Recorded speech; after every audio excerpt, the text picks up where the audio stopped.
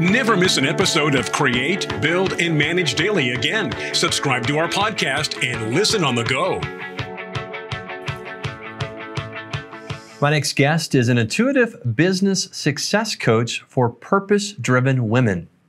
Amber Annette is with Sould Inc., and she joins us via Zoom tonight. Amber, welcome to the show.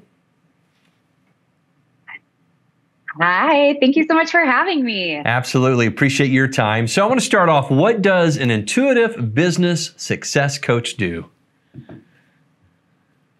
um, something a little bit different each time, depending, you know, depending on the client for sure. I think that's that's the point of bringing the intuition to the forefront. Um, but I think most of the time, it's you know working with the um, working with the power of presence, working with the emotions of having a business, working with um, your gifts and your values and your vision before working with operations and branding and marketing and those kinds of things. Those things fall in line, and sales happen naturally when you lead from within. You know, we're so often prone, a lot of us, to get our to do list that we have. So, how does following your intuition mm-hmm. differ from, say, having a to do list? I mean, I think the to do list typically comes from our mind, right? It comes from the things that we're taught to do, we should do, we have to do, versus the I can't not go do this. And so when you start to follow your inner knowing and when your inner knowing, your intuition, it kind of like, you know, we have different words that are together. But when you follow that instead of the have to do, some interesting things are going to start happening. You're going to have more magic, you're going to have more flow, you're going to have more conversations, you're going to be acting from a place of vision. And when you start to do that is when you get the real results that you really want. The results don't typically come from a to-do list. If you think about strategies, most of the time it's not the actual strategy and it's not the actual plan that you put together that gets you where you want to go. It's the energy, it's the action. And um, I I really believe that when you blend energy plus strategy is when you get that that soul and that success all in one. You know, a lot of people uh, are watching tonight are probably used to you know doing things a certain way, and you're kind of giving us a different thought process on that. So when I think about thinking in my mind, you know how it can wander. So what should we be focusing on each day to really get the mind where we need it to be in order to have that focus and get things uh, get things accomplished? Yeah, I think for me, um, you know, and the way that I work with with my clients is teaching them that all of your power is in the present moment. And when you're fully present and when you're fulfilled in the moment that you're in, and um, then you're able to receive like I don't know, maybe you've heard this term before, like then you can receive like the divine download, right? Then you can receive inspiration. Then you can receive new ideas. And it's coming from a place of new energy. It's coming from a place, again, from that place of vision.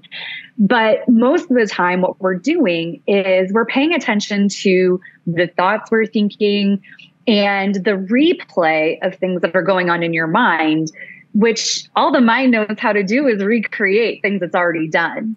And so I like to think of being present in the moment so that you can receive new energy. You can receive new ideas that are so aligned with your values and with what you want to manifest in the moment versus like what's been going on in your past, which is all your mind can really connect to.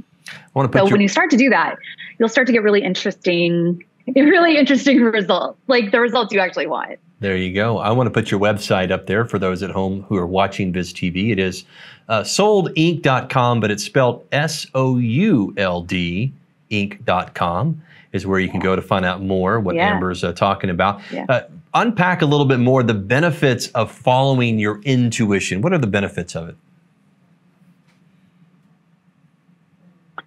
Um, well, I think you get to start doing things that um, are calling to you versus again the things that you have to do.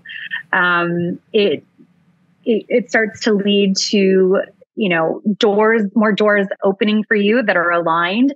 It starts to lead to doors that are meant to close for you closing, um, more experiences, more circumstances, more events lining up for you because it comes in from that place of intuition, comes in from that inner knowing. It comes from that higher source that is guiding you towards something.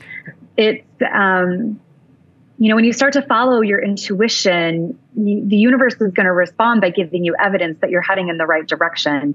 And that's all that we really want to know. We want to know we're going in the right, want to know we're going in the right path. Um, you know, after doing, you know, this for almost 10 years, I don't know how many thousands of coaching sessions, almost every single person, they, they want it, they, they want some validation that they're going in the right direction, that they're, um, that they're moving towards the, the right path. And when you do that from a place of intuition and when you do it from that inner knowing, you can never get the path wrong. So how does that relate to, because at this time of year, a lot of people want to talk about, you know, what their goals are. Maybe they call it New Year's, New Year's uh, resolutions or things they want to do differently in 2023. So how does how does that work for you when you talk about you know following your intuition as you look ahead? Do you take time to kind of sit down and and think about man, what do I want to accomplish? What do I want to say this time you know a year from now?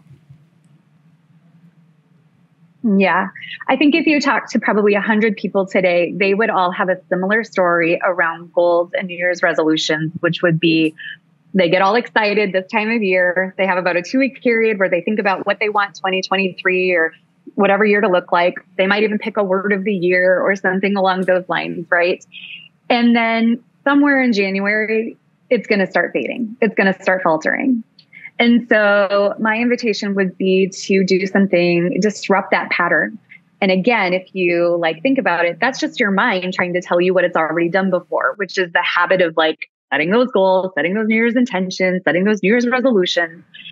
So my invitation would be to feel into something a little bit different. Maybe give yourself a New Year evolution um, instead of just a resolution. And instead of picking a big year long goal that starts to fade pretty quickly, what if you gave yourself a daily goal of being as present as possible and see what new exciting ideas and expansion can happen for you? because all we get is in the moment. All of our power is in the moment. So why not just make the moment the actual, like, the actual goal? Amber, appreciate it. Again, intuitive business success coach. And you can find out more what Amber's talking about by going to her website. Again, it is souldinc.com. And when you spell that, it's S O U L D Inc.com. Stick around. This is Create, Build, and Manage Daily.